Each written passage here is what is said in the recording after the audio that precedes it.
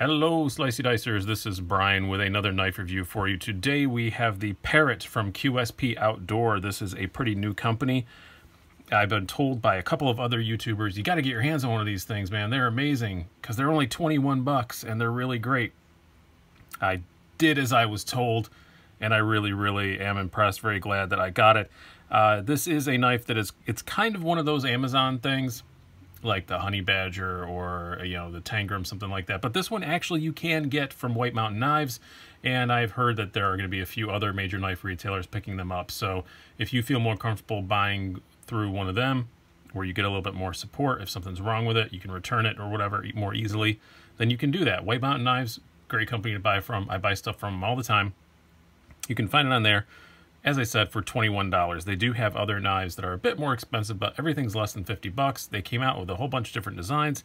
They're not cloners, they're not copies, they're not anything like that. It's a legit company, and uh, this is a pretty impressive little product, I do have to say. It comes in a very nice little box. Got a little QSP, better knife, better life. Uh, it's, it's not, not the best slogan in the world, but it's fine. Um, pretty nice little crush-proof box.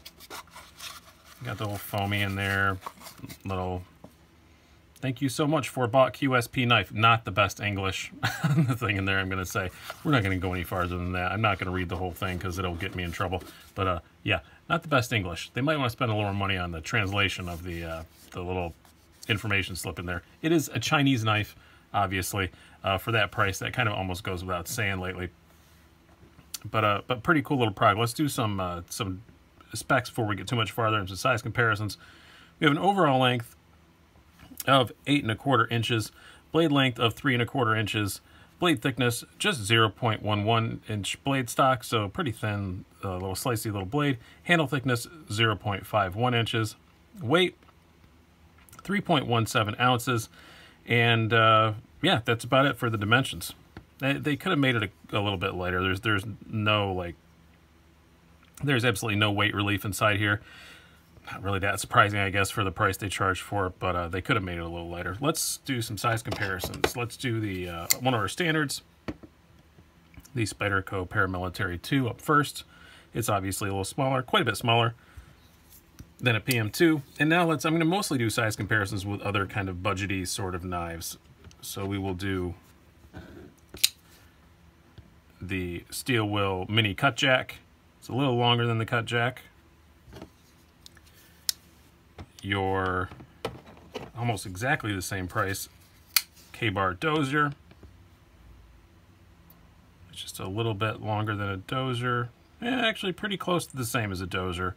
Kind of think about doing a comparison between these two because they're both right around 20 bucks. You have the Ontario Rat Model 2 almost exactly the same as that. And lastly, we will do the Kershaw Atmos. Little, just a skosh bigger than an Atmos. Okay, let's talk more about this knife. Uh, I really like the look of it. It's very simple but there's nothing offensive about it. I like the look of a simple drop point blade. This is about the most simple drop point blade style you could possibly get. Uh, you do have actual G10 handles, which is a nice thing. A lot of uh, knives in this price range have fancy plastic, so that that's really nice. Um, everything feels good and and quality and, and well put together. There was nothing objectionable. There's no like really sharp edges or anything like that it it feels quality wise i would say it feels like a $50 knife like just in your hand just the way that you know i always say that thing you can't explain but it, it just it just feels like about a $50 knife which is pretty good for 21 bucks can't complain about that um i'm very happy with the quality i'm happy with the box that came in you feel like you bought something that that's worthwhile you don't feel like you bought some cheap Chinese knockoff. It doesn't feel like that at all because it's not, and uh, it doesn't. Some of the, some of the companies that even don't do knockoffs, when you get them, they still kind of feel like knockoffs. This doesn't. This feels like a well, well designed, well put together, well thought out piece right out of the box as soon as you put it in your hand, which is very a very good thing to say for twenty one dollars. I don't. There not isn't a whole lot of billboarding. All you got is a little QSP logo right there. That's it, and oh somewhere buried down in there, if you can see it, it says 440C, which is a completely adequate steel for $21. Not going to complain about that. It's better than 8CR13. I, I would much rather have it than that. So that's not bad. And like I said, G10. So uh, not bad at all. You do have a little lanyard loop there and stuff. It's a right hand, left hand, tip up only, but it's a it's a very very well designed knife. Now this blade, as I said, very simple drop point shape. Nothing, absolutely nothing wrong with that. You got a pretty good tip on there with some schmutz because I opened a box before I started the video. I should have known enough to uh, to wipe that off before I did. Very nice little tip on there, plenty robust enough, and really, really, really sharp out of the box. They did a great job. It's about 20 thousandths behind the edge and pretty thin blade stock, so it's not a bad slicer. As you can see, it's great. It works excellently. Awesome slicer. No complaints about the sharpening. No complaints about the blade shape. Gosh, I don't know why I'm so flummy right now. Also, uh, no complaints ergonomically. I can get my full four fingers on there completely fine. No real hot spots. It's not mind-blowingly awesome ergonomically. I mean, it's not like it, feels like a firm handshake, like it's, I like to describe, like a really good knife just feels like a like it's shaking your hand back. It's not quite there, but it's not it's not bad at all. It feels comfortable. There's nothing objectionable about it whatsoever. Jimping up here, perfectly placed and perfectly adequate. I really like the jimping on this. It works awesome. It's not so sharp that it's annoying, but it does lock you in pretty good very natural place for my thumb to rest. I, I really like the jimping on this. They did an excellent job with that. Really, really, really good job. No hot spots from the clip at all. Just very, very, very, very good. I, I do very much like the ergonomics on this, and that jimping is outstanding. Um, Carry-wise, it's uh, not a deep carry clip, but eh, kind of don't expect that really. And it is kind of their own whole pattern as far as I can tell. I tried a few other ones and nothing matches. But not a whole lot sticking out. So that's not bad. Uh, especially in this black, it, there's not going to be anything noticeable. It does come in other colors, which one of which is a unique choice. It comes in this black, OD green, normal choice, or pink. So, uh, yeah, if there's a a lady in your life that likes pink, or you are a man who really likes pink, this is a nice, cheap, really good knife to offer them because it does come in pink, which is kind of cool. A lot of people, some people do like that, I guess. But uh, if you had the pink one in your pocket, well, long way of getting there. If you got the pink one in your pocket, people are going to see it. But the black and the OD green, not bad, not offensive at all. Uh, deployment, you're running on the the often uh, common, I guess I would say now, combination of uh, each side has a phosphor bronze washer with a very, very, very thin little Teflon washer also. So both sides run on that same thing. But the detent is great.